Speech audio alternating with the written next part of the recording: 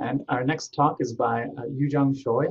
She's going to tell us about uh, how to build an embryo, educational efficacy of 3D printed embryo models in pieces or en bloc in enhancing spatial and temporal anatomy learning. Um, thank you, Dr. Thompson. Hello, my name is Yujung Choi, and I worked on educational research under Dr. Lisa Lee's um, supervision. And here is the example of the 3D printed embryo models used in this study. So embryology is fundamental to adult anatomy, anatomical variation, and congenital anomalies. However, in medical education, embryology has had minimal contact hours for a long time compared to other courses.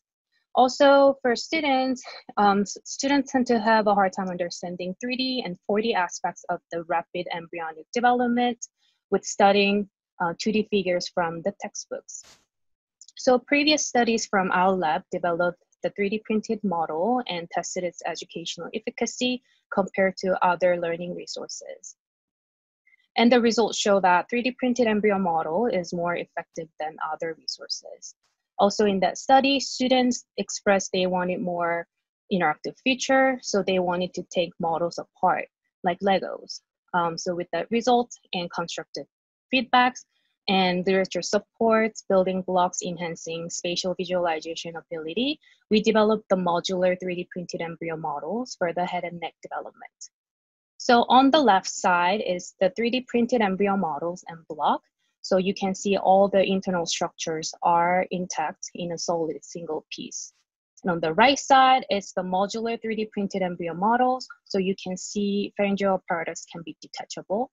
I know it's not a lot of pieces, but it still gives visual access to certain structures. So we obtained histological slides from the Carnegie collection and we segmented and rendered to make these 3D printed models. And it's week fifth embryo models, head and neck region only, so we chose the head and neck development to facilitate students visualize these um, complex structures involved in this limited and small region to help them reduce their cognitive load. Also in this study, we wanted to see how this um, interactive feature would affect on student learning and student spatial understanding of embryonic anatomy. So the hypothesis is learning head and neck development with the 3D printed embryo models in multiple pieces will give better learning outcomes compared to the learning from the same model en bloc, which is the single piece model. So the study was um, exempted by COMIRB, and we recruited 184 first-year med students enrolled in an integrated gross anatomy course. And the study was conducted during their um, active learning review session. And all the participants took the pre-quiz, which had the spatial and non-spatial items. Then they were randomized into two groups, control groups and experimental groups. So control group interacted with the single piece model, model en bloc, and experimental group interacted with the modular model, uh, model in pieces. So each group engaged in self-directed learning group activities. Uh, they were provided with the worksheet, which had the same concept, same learning objectives, and same instructions. After the activity, they took the post quiz and optional survey. Then they switched the learning resources and completed the respected, uh, respective worksheets. As they exit the review session, they selected their preferred learning model. All the data analysis were completed with these tests quantitatively and qualitatively. So in our learning outcomes comparison, regardless of the model type, both control and experimental groups post-quiz performance enhanced significantly with an effect size of 0.47. This indicates interaction with the 3D printed models has a positive effect on student learning. Furthermore, we perform item analysis.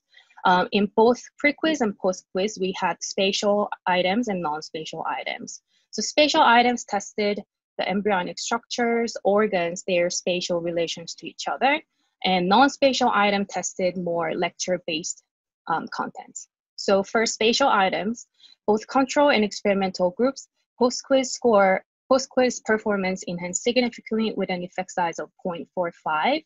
Interestingly, post-quiz score of the control group was significantly higher than the experimental groups. For non-spatial item coded in blue, there was no significant difference between pre and post quizzes within both groups. Also, there was no statistical difference in pre-quiz and post-quiz between groups. So this indicates interaction with 3D printed embryo model has a positive effect on students' spatial understanding of embryonic anatomy, but interaction with model en bloc, which is single piece model, um, is more effective for student spatial understanding.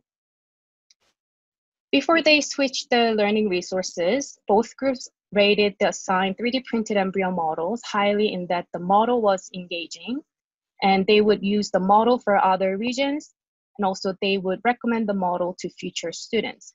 And there was no significant difference between groups' responses. After they interacted with both resources, um, students selected their preferred learning model both control and experimental groups selected the modular model to be their preferred model, even though the, the results show that higher, uh, results show the higher um, learning outcomes for spatial items um, from interaction with the model en bloc, which is the single piece model. In thematic analysis, uh, both groups showed the similar strength in that the 3D printed model gives tactile learning style and better visualization. Um, for the constructive themes, they were also similar in that they wanted more guided video tutorial in using 3D printed models, and also they wanted more clear temporal dimension. In conclusion, 3D printed embryo models are effective learning resources for student learning and student spatial understanding of embryonic anatomy for the head and neck development. But control group who interacted with the single piece model performed better for spatial items than the experimental group who interacted with the modular model. Therefore, the hypothesis is rejected. Regardless of the result, uh, students still prefer the modular 3D printed model. Also, students perceive the 3D printed models as effective visual aids, but they wanted more passive way to learn from the models. Limitations in this study include there were only 15 minutes to interact with the model, and there was different group dynamics, and only one detachable um, piece was from the modular model, and only short-term analysis was completed, and only 11 items were tested in pre-quiz and post-quizzes. I want to acknowledge everyone on this slide who made this um, project possible. Thank you for listening, and please let me know if you have any questions. Thank you. Thank you, Yu Jung. Great presentation. We will take any questions now. Um, you can submit your questions in the chat box. Um, I have a question. Uh, if uh, based on your your findings, how would you um, move forward with this information?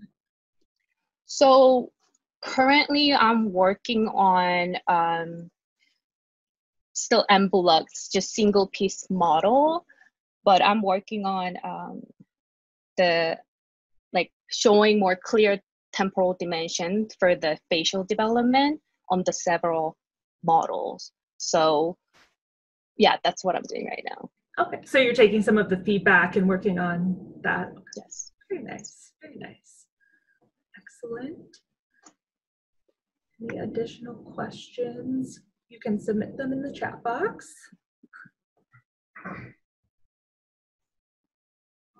Okay. Looks like, oh, have a comment, but just love that you implemented feedback from last year's capstone, so building off of last year.